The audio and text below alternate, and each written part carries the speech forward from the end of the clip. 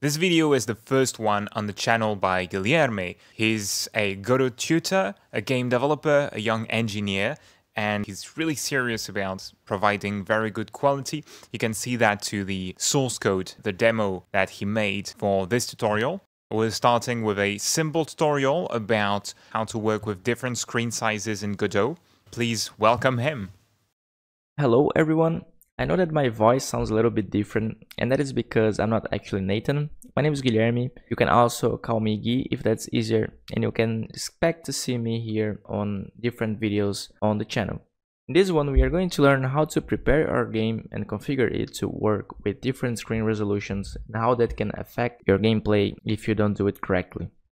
If I play this game, you notice that we have a really small screen. It's 640 by 480, which gives us an aspect ratio of 4 by 3.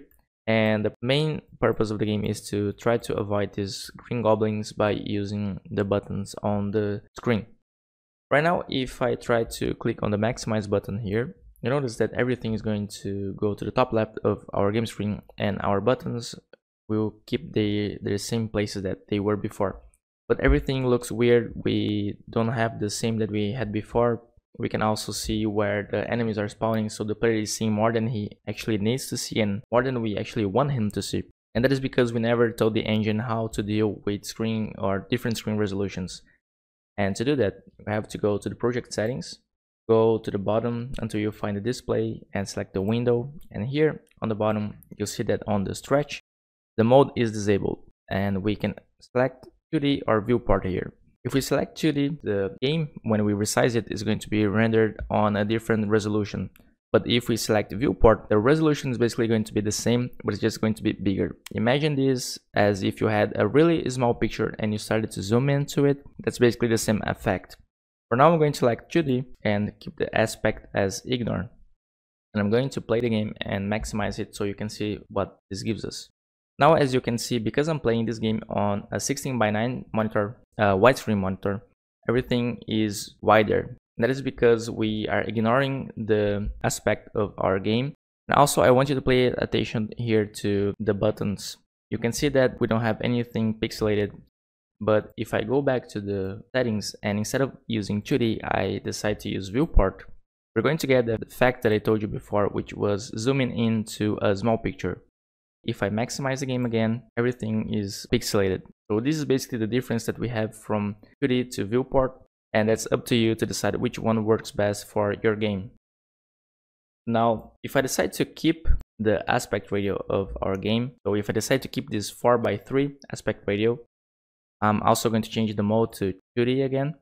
The engine is going to keep the 4x3 aspect ratio doesn't matter in which resolution or which aspect ratio we are playing our game in and it's going to add black borders to the top and bottom or to left and right depending on the size of the monitor and the size of the screen of the game is being played at right now.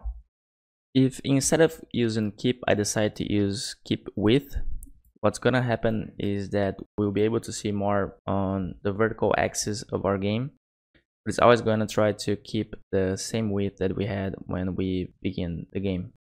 And if instead of using keep width we decide to keep the height what's going to happen is the opposite. So we are going to get more resolution on the horizontal pane here. We'll be able to see more of the game from the x-axis. And depending on the type of game that you have this is going to give an advantage for some players doesn't matter which one you choose. For instance here in this game here i can see where the enemy is being spawned and this gives me more time to respond to this. When if i was not using a bigger resolution or a wider resolution i wouldn't be able to see the enemies coming from the right so easily. So i would have less time to react to these events. And to finish everything uh, the last option that you have is to use instead of keep height or keep width you can choose expand and this is going to try to keep the same aspect ratio that we had before but it's going to add more screen either vert vertically or horizontally. As you can see right here. So this can lead to some really unexpected behavior. Right now i can see more of the right of the game but if you had a monitor that wasn't widescreen and was actually taller you would be able to see more of the bottom of the game so you don't really know what's gonna happen when you hand this to a different screen. So a little little tricky to use but again this all depends on the type of game that you have and if it's going to really give you a big impact on how it's going to be played. So always keep this in mind. Sometimes you're giving the player the, the option to see more of some parts of the game and this can again give some advantages to some of them and some disadvantages for some of the players as well and the last thing that you should keep in mind when you're dealing with different screen sizes is how your UI elements are going to be set up.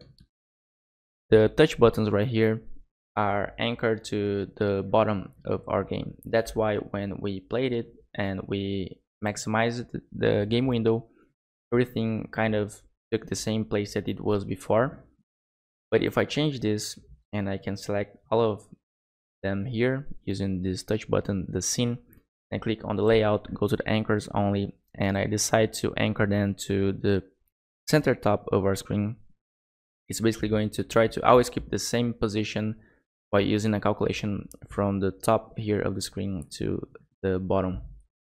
And if I play, you notice that now when I increase the size of the game, they are going they're not going to go neither to the left or the right and if the game was uh, actually taller instead of wider they're gonna keep the same position that they were before.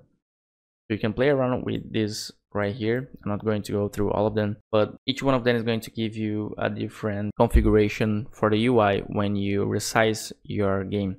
So that's also something to keep in mind when you are dealing with different screen resolutions and that was it for this video. If you have any questions, please feel free to ask me on the comment section. And if you want to play around with this project right here and try things on your own, you can go to the video description and you'll find a link for the GitHub repository where you'll be able to download it and run it on your machine. Thank you so much for watching and I hope to see you guys again soon.